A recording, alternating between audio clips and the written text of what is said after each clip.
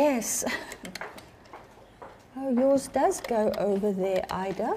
That's only to take it through the needle, that you don't have to battle to get it through the needle. Here and there, there's. Because it's the bottom, the top tension.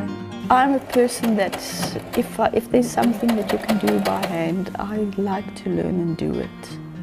So if I can get it right, then I feel I've achieved something. So yes, it's, I like that. I like to be able to say, well, I can quilt, I can make jewelry, and all other kinds of crafts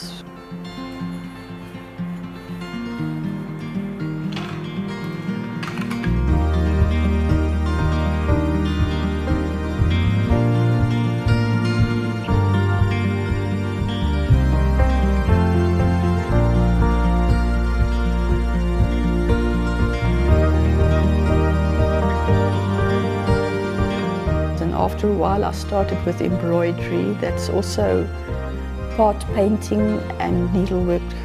I call it needle painting. My name's Gail Lindstrom. I'm originally from South Africa, but the last five years we've uh, resided in UAE.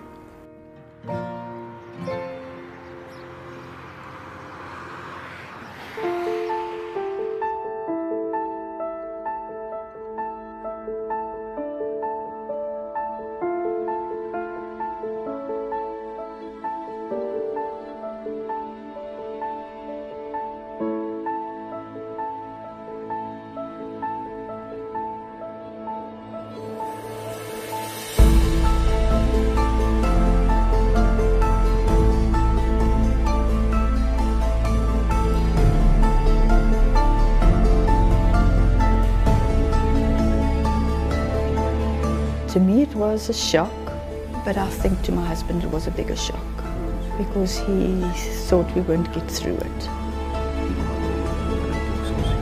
But yes, it's, it's part of my life now. But I don't think of it. I don't think of being a sick person. And what I can do, I do. I do a lot of needlework and crafts and everything, and they keep me busy and they keep my mind busy.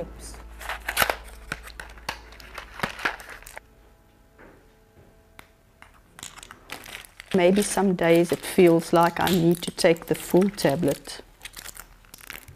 In this way, I'm sure I take my medication every day. But some days, if you're too busy, you can, you know you're a sick person.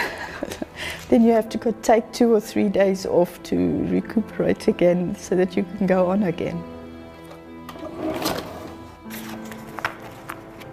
In our family, Julius's aunt, she also uh, had breast cancer, and that was after I had mine. And she was very negative. Life doesn't stop here when you have breast cancer. They've got so many cures and people that have recovered completely of breast cancer. And yeah, she just she just gave in. She was so negative. She um, couldn't even do her chemo she just decided she doesn't want to live anymore.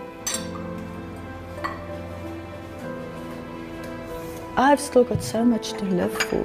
I mean, I've got five grandchildren and I've got so many needlework. I still want to make a quilt for each one of them.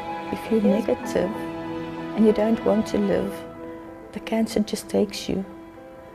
And you can't go and sit down and say I'm a sick person and do nothing. There are enough sick days to do that. So the days you feel better, you really must do something with your life.